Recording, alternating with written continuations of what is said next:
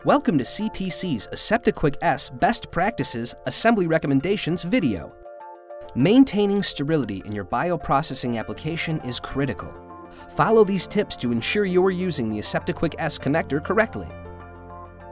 If the protective pull tab cover becomes separated from the connector during handling, simply snap it back into the hinges on the connector.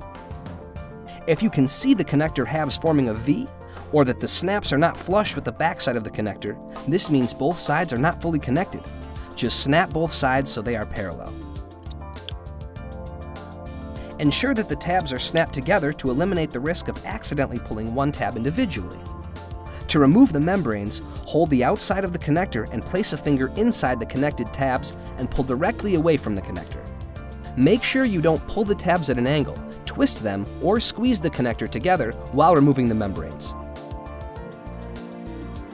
If you have more questions about best practices for assembling the AseptiQuik S, please contact CPC customer service at cpcworldwide.com slash contact us.